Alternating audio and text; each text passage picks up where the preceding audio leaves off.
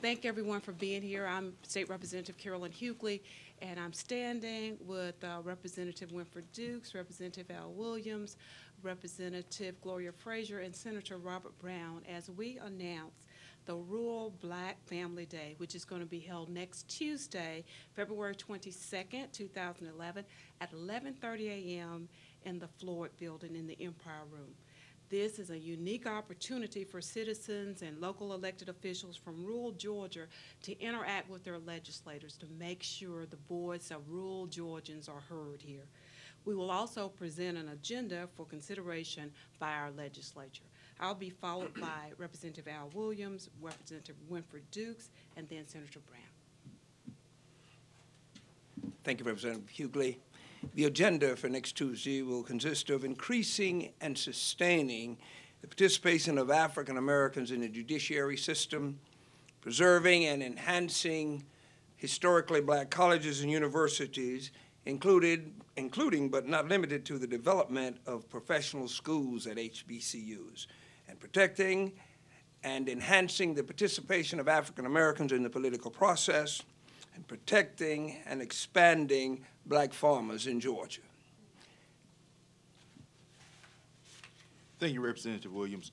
The other items on our agenda will be, as many of you all might have heard, that down in Quitman County, there is a legal challenge that is being offered by members of that community who serve the, on the school board. And their candidacy actually is being challenged. They have been indicted. We, they are known as the Quitman 10. They have been invited up uh, to become a part of this program also. There are people in rural Georgia who, uh, who's working to make sure that, that their rights as elected officials are protected. Just to give you some background on how we come here today, um, back in October, as a matter of fact, on October 16th, uh, there was a meeting in Macon, Georgia, of African American leaders from around the state, primarily in rural and small city Georgia, to focus on the election that was coming up in that November, but also to think beyond the election, uh, because quite frankly, we saw the train wreck coming uh, as far as the election was concerned. And so we wanted to begin to position ourselves for the future. And so we came together and developed the agenda that Representative Williams just described, but we also talked about how to bring more attention to the plight of black people in rural Georgia. The Brooks County Quitman 10 that was just referred to is but one example of how right now, even in 2010 and 2011, we still have these barriers to participating in the political process. And we are determined to knock the remaining barriers down. I want to make something very clear. Uh, this, in part, was inspired by our coming together, in addition to the election, was in part inspired by what had happened to our sister, Shirley Sherrod. Uh, we looked upon that as a symbol of rural black Georgia, as well as rural black people across this nation. Our agenda is not on the table.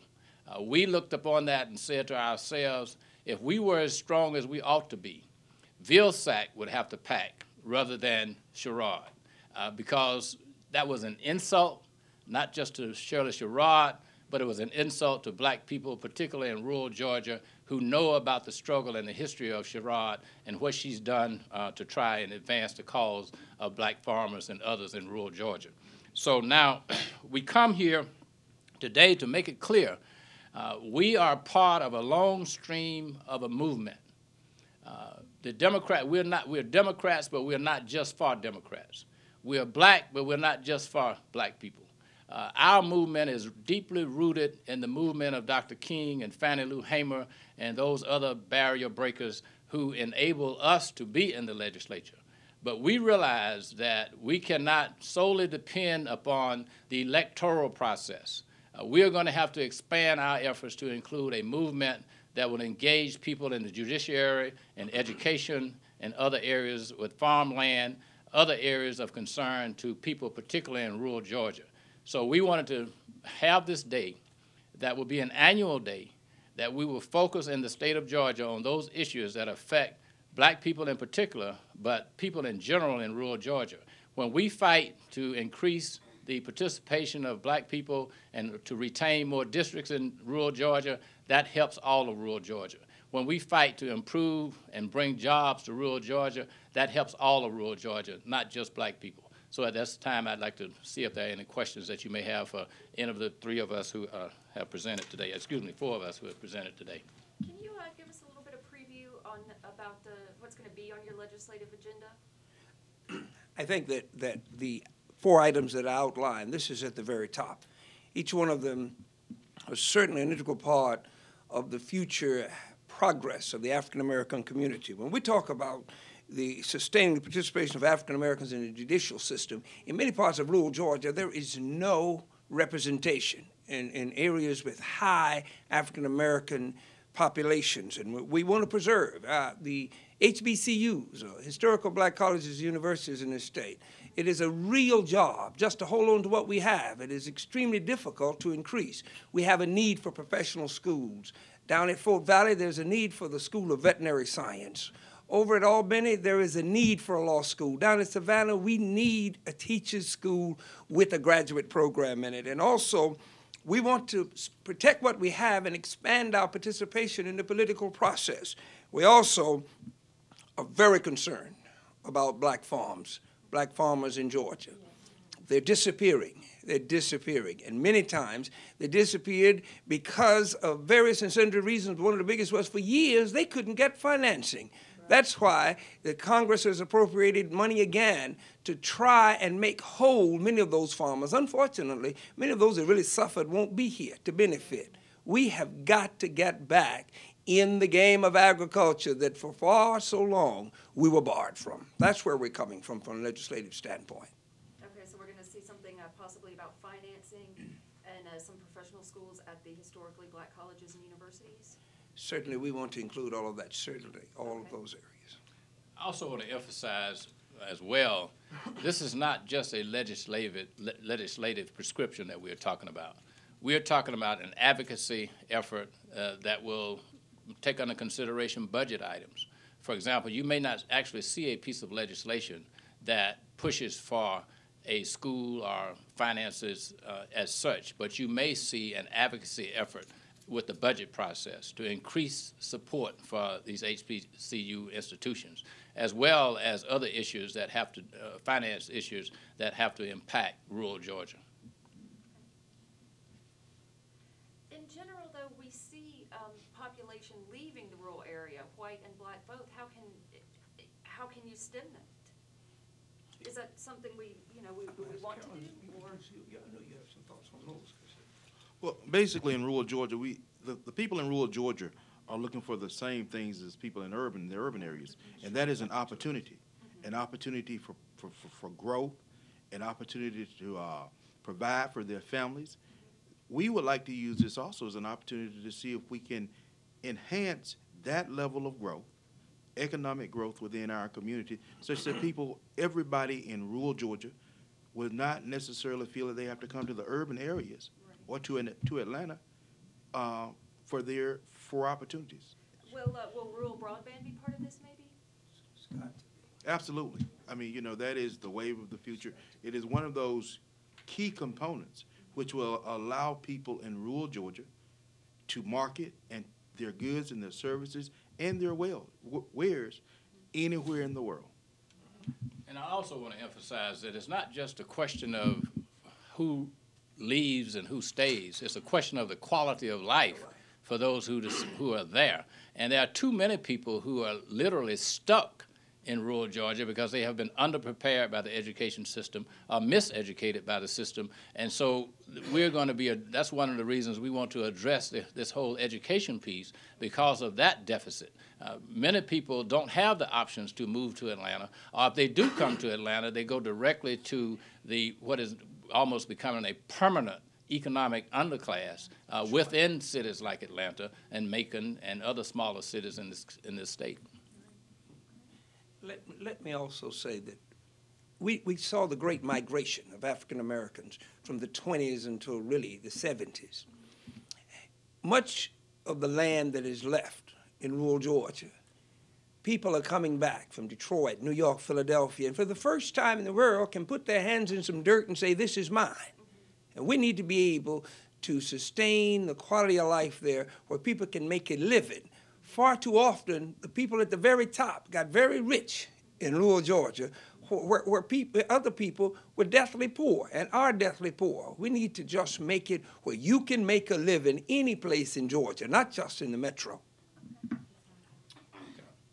One of, one of the things that, um, has been played out really just in the last couple of weeks is that sometimes cost of living is low enough there that you ought to be able to attract some high-tech industry.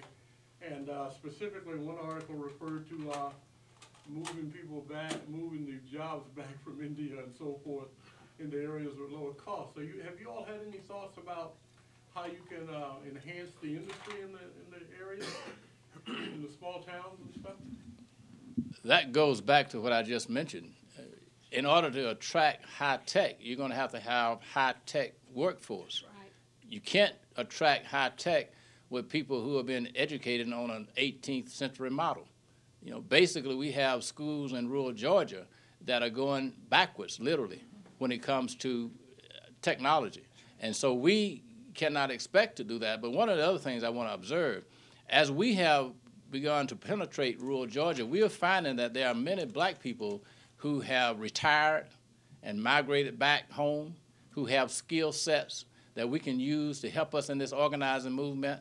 Uh, there were people, for example, uh, in Tifton, uh, there's a, a, a senior citizen who used to be in the Student Nonviolent Coordinating Committee. He's now living in Tifton. He's now engaged in this process. So we there are skills there that have been unidentified to date that we are being, get, beginning to uncover that can help us be stronger advocates to improve those schools there.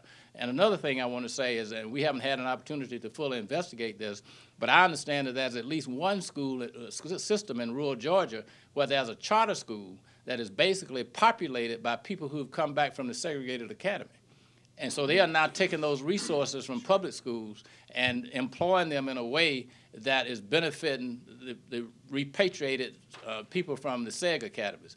That kind of thing should not be happening. We, and, but when you have people who are being intimidated, as with the case with the people in Brooks County, that is the kind of thing that can happen. And that's why we want to engage and empower uh, and make sure that the people in Brooks County do not go unnoticed and undefended. Uh, Is your point then that, uh, is there still a racism card being that active there and there- there is, has not been a change in the climate? Is that an accurate thing or? I, I've been shocked over the last few years. Everybody just one day woke up and said there's no more racism. And, and, and, and we all know better. Last week, I had a group from my home county, and a man refused to shake my hand. In 2011, he comes up as one of my constituents and refuses to shake my hand. Look, racism is not dead, it just learned to live in the back closet. Okay. Well, certainly that is reflected in, in the case in Quitman County with the elected officials that are there that, that actually won the election uh, through the process, went through, won the election twice, and then they all get in, and th- then they get indicted for, for voter fraud. I mean, you know, and now many people say that there is no need for the Voting Rights Act to continue or to be renewed. This is a clear indication that in those states, which Georgia happens to be one of, that there's still a need for it.